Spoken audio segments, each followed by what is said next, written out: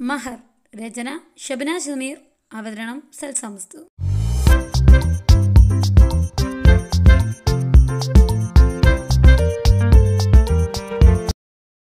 ഹാരിസ് പതിയെ ഷാഹിനിക്കരികിൽ നടന്നെടുത്തു. കരയേണ്ട കാര്യമൊന്നുമില്ല. റിയ മനസ്സിലൊന്നും വെക്കൂല. എല്ലാം വെട്ടിത്തുറന്ന് പറയും. പറയുന്നതോടെ അത് കഴിഞ്ഞു. ഇനി നീ അത് മനസ്സിൽ വെച്ചുകൊണ്ടിരിക്കേണ്ട വിട്ടേക്ക്. അല്പം പരക്കൻ സ്വരത്തിൽ പറഞ്ഞുകൊണ്ട് ഹാരിസ് കട്ടിലിൽ പോയി കിടന്നു. ഷാഹിൻ ഒന്നും മിണ്ടാതെ ബെഡിൽ കണ്ണടച്ച് കിടക്കുന്ന ഹാരിസിനെ നിറക്കണ്ണോടെ നോക്കിയിരുന്നു. പിറ്റേന്ന് ഹസീനയും അഫീനയും സ്ഥിരം ചർച്ച കേന്ദ്രമായി മുറ്റത്ത് മാവിൻ ചുവട്ടിലെത്തി. ഷാഹിൻ ഉണ്ടാക്കിയ കായ വറുത്തത് കഴിച്ചുകൊണ്ടിരിക്കുന്ന ഹഫീനയോട് ഹസീന ചോദിച്ചു എടി അനക്ക് എന്തോന്നുന്നു നല്ല രുചി.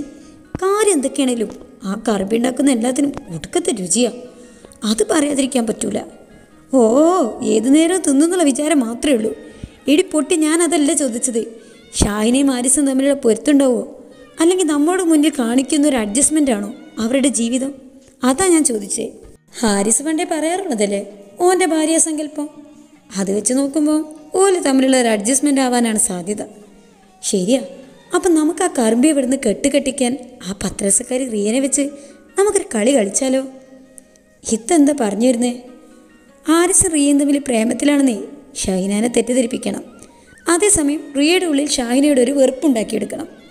അതിനുള്ള പണിയാണ് നമ്മൾ ചെയ്യേണ്ടത്. ആദ്യം ആരിസും ഷാഹിനയും തമ്മിൽ സ്നേഹത്തിലാണോ എന്ന് കഴിയുന്നതെന്ന് ഉറപ്പുവരുത്തണം. പിന്നീട് റിയനെ വെച്ച് ഷാഹിനാനെ ഇവിടുന്ന് ഓടിക്കണം. ഇതെല്ലാം നടക്കണ കാര്യമാണോ ഇത്താത്ത നടക്കും. നമ്മൾ രണ്ടാളും ഒറ്റക്കെട്ടായി നിന്നാ ആ കറമ്പെ ഇവിടുന്ന് ഓടിക്കുകയും ചെയ്യാം കുറ്റം റിയയുടെ തലയിൽ ഇടുകയും ചെയ്യാം. ഇതെല്ലാം അറിഞ്ഞിരുന്ന് കേട്ട ഉമ്മ അന്യൊക്കെ ശരിയാക്കി തരാടി. ഉമ്മ പിന്നെ ഒട്ടും സമയം കളഞ്ഞില്ല. പ്രാവുകൾക്ക് തീറ്റ കൊടുക്കുകയും അവയെ തൊട്ട് തലോടി വാനിലിട്ട് പറപ്പിച്ചിരിക്കുന്ന ഷാഹിനയുടെ അടുത്ത് ഓടിക്കതച്ചുകൊണ്ട് വന്നു ഈ ചീറ്റിങ്ങളെ പുന്നാരിച്ചുകൊണ്ടിരുന്നു ഈ വീട്ടിൽ നടക്കണ എന്തെങ്കിലും കാര്യം എന്റെ മോൾ അറിയുന്നുണ്ടോ? എന്തമ്മ?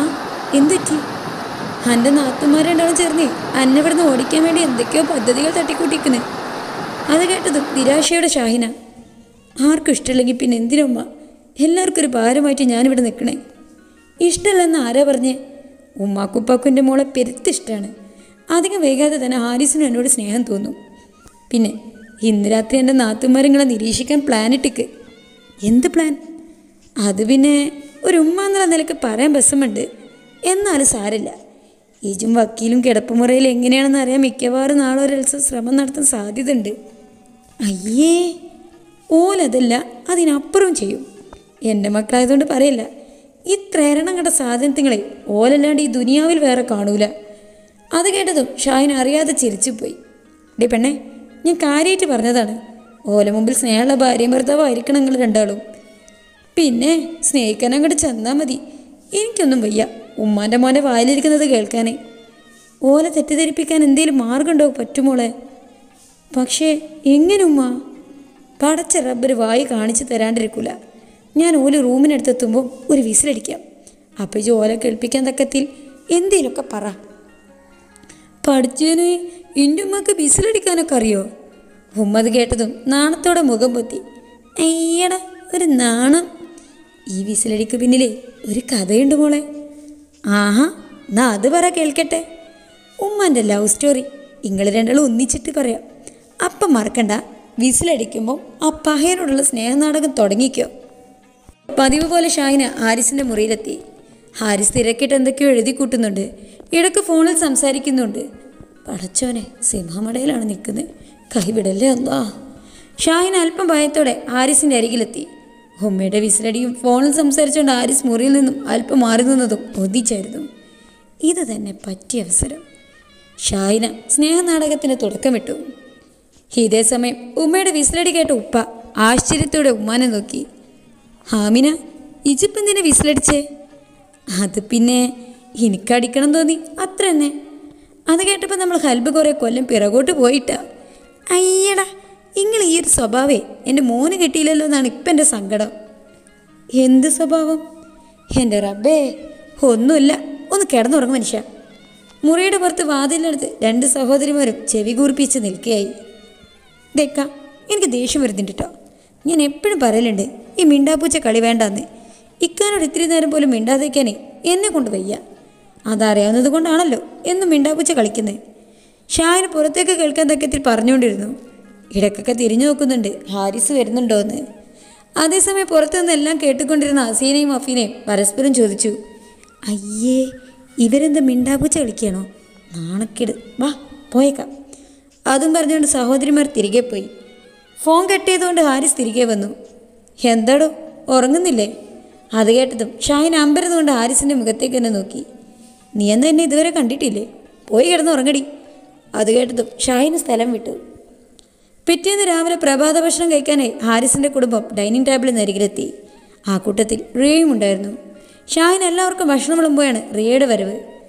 ആഹാ എല്ലാവരും കഴിച്ചു തുടങ്ങിയോ? അത് കേട്ടതും അസീന ഷാഹിനാക്ക് ഒരു പണി കൊടുക്കാമെന്ന തരത്തിൽ റിയയുടെ പറഞ്ഞു. അല്ല ആരിത്? റിയ മോളോ വാ വന്ന് ആരിസിന്റെ അടുത്തുള്ള ഒഴിഞ്ഞ കസേരയിലിരിക്ക്. അത് കേട്ടതും ഷാഹിൻ ഉമ്മയുടെ മുഖത്തേക്ക് നോക്കി. ഉമ്മ അരിശത്തോടെ ഹസീനയും ഹസീന പെട്ടെന്ന് മറ്റെങ്ങോട്ടോ മുഖം തിരിച്ചു. റിയ ഹാരിസിനടുത്ത് തന്നെയായിരുന്നു.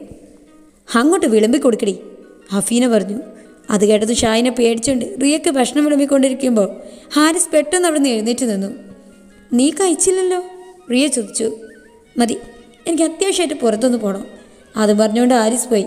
ഒരു ദിവസം ഹാരിസ് റിയയുടെ കൂടെ പുറത്തു പോകാനേ ഒരുങ്ങിയിറങ്ങി മുറ്റത്തെ ചെടികൾ നനച്ചുകൊണ്ടിരുന്ന ഷാഹിന അവർ രണ്ടും വണ്ടിയിൽ കയറുന്നത് നോക്കി നിന്നു.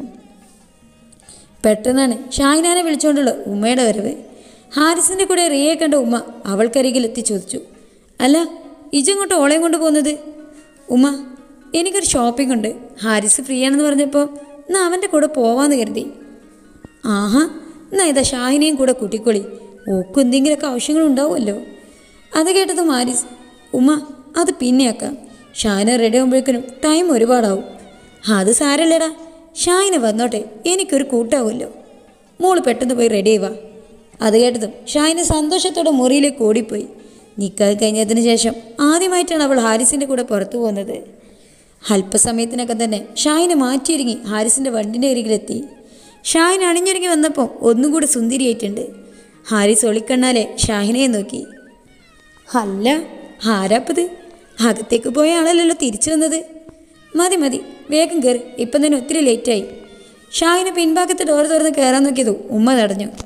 റീ മോളൊന്ന് ഇങ്ങോട്ട് ഇറങ്ങിയേ? അത് കേട്ടതും റീ വണ്ടി നിന്ന് ഇറങ്ങി. മോൾ പുറകിലിരുന്നോ. ഷാഹിന് മുന്നിലിരുന്നോട്ടെ അതല്ലേ നല്ലത്? അത് കേട്ടതും റീ ഒന്നും പറയാതെ പുറകിലിരുന്നു. ഷാഹിന് മുൻസീറ്റിലിരുന്നതും ഹാരിസിനെ ഒളിക്കണ്ണാലെ നോക്കി. ഹാരിസും അവൾ അറിയാതെ ഇടയ്ക്ക് ഷാഹിനെ ശ്രദ്ധിക്കുന്നുണ്ടായിരുന്നു. അവളൊരു മാറിലെത്തി. റിയ എന്തൊക്കെയോ വിലപ്പിടിപ്പുള്ള സാധനങ്ങൾ വാങ്ങിക്കൂട്ടി. ഷാഹിൻ എല്ലായിടത്തും ഒന്ന് വീക്ഷിച്ചു കൊണ്ടൊന്ന് നടന്നു. നീ ഒന്നും വാങ്ങിക്കുന്നില്ലേ? ഹേയ് എനിക്കൊന്നും വേണ്ട. ഷോപ്പിംഗ് കഴിഞ്ഞ് അവർ തിരികെ പോവാൻ തുടങ്ങിയതു ഹാരിസിനൊരു കോൾ വന്നു. ഹാരിസ് കുറച്ച് മാറി നിന്ന് ഫോണിൽ സംസാരിക്കൊണ്ടിരുന്നു. എതിരെ ലോറി വേഗതയിൽ വരുന്നത് കണ്ട ഷാഹിന ഉടനെ ഹാരിസിനെ തള്ളി മാറ്റി. രണ്ടുപേരും നിലത്ത് വീണു. എല്ലാം കണ്ട റിയ ആശ്ചര്യത്തോടെ അവർക്കരികിലെത്തി തുടരും. എന്താണ് ഇനി സംഭവിക്കുക എന്നുള്ളത് കാത്തിരുന്ന് കാണാം. ചാനൽ സബ്സ്ക്രൈബ് ചെയ്തോളൂ. തൊട്ടപ്പുറത്തുള്ള ബെലൈക്കനും കൂടെ പ്രസ് ചെയ്തോളൂ. ഇൻഷാല്ല അടുത്ത എപ്പിസോഡിൽ നമുക്ക് വീണ്ടും കാണാം. Mister signing out thank you for watching bye